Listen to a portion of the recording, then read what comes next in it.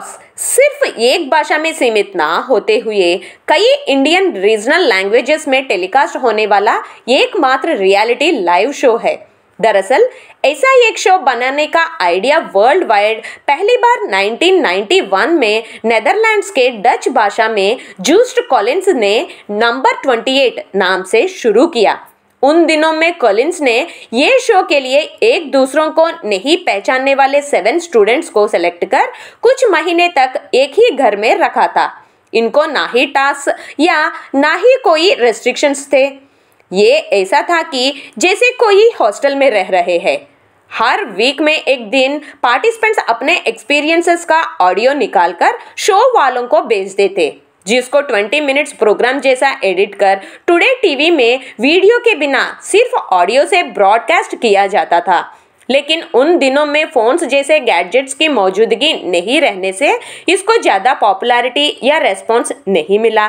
फिर 1971 में BBC channel में टेलीकास्ट किए गए एन अमेरिकन फैमिली डॉक्यूमेंट्री देखकर 1992 में एरिक लॉटर ने अमेरिका में द रियल वर्ल्ड शो शुरू किया। इस शो की खास बात यह थी कि अगर कोई भी पार्टिसिपेंट गलती करता है तो बाकी पार्टिसिपेंट्स उसकी गलती का उसे एहसास कराना था। इसके फ़र्स्ट सीज़न के 12 एपिसोड्स हर थर्सडे 9 टू 10 पीएम एमटीवी में टेलीकास्ट किए जाते थे।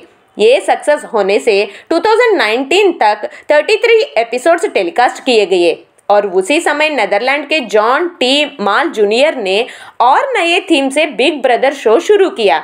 ये सक्सेस होने से 2000 में अमेरिका में भी ये शो शुरू किया गया। इसका बेसिक आइडिया गैरी ऑरवेल से लिखित 1984 नामक नॉवेल से लिया गया।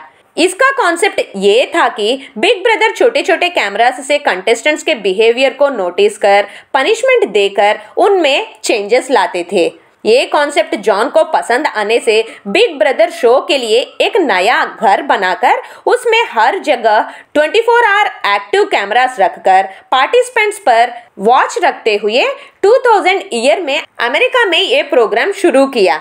सभी शोज़ से बिग ब्रदर ज़्यादा सक्सेस होने का रीजन ये था कि 10 पार्टिसिपेंट्स को उनके लिए स्पेशली बनाए गए स्पेशल हाउस में भेजकर 24 फोर आवर्स हिडन कैमरा से उनको ऑब्ज़र्व करते हुए सिर्फ़ आवाज़ से उनसे बात करना।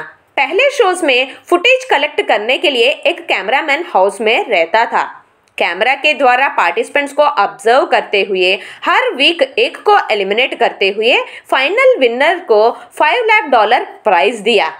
इस शो ने अभी तक 24 सीजन्स कंप्लीट किए। सेम कॉन्सेप्ट से यूके में 2001 में सेलिब्रिटी बिग ब्रदर शुरू किया गया, जिसमें सेलिब्रिटीज को पार्टिसिपेंट्स बनाया गया। सेलिब्रिटीज पार्टिसिपेंट्स करने से और सिर्फ़ 26 डेज़ के इस शो को एक्सेलेंट रेस्पॉन्स मिला।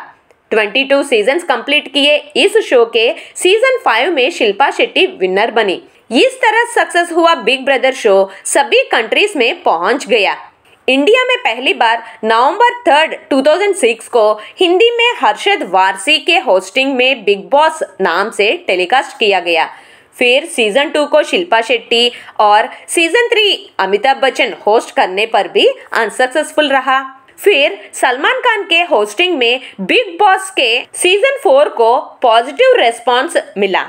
और टीआरपी रेटिंग बढ़ गया तब से आज सीज़न 16 तक सलमान खान ही होस्ट है फिर बिग बॉस बाकी रीजनल लैंग्वेजेस में भी टेलीकास्ट करना शुरू किया गया 2011 में कन्नड़ में तमिल और तेलुगु में 2015 में मलयालम और मराठी में 2018 में शुरू किया गया See you again with a new topic in Global Encyclopedia. Till then, take care and have a nice day.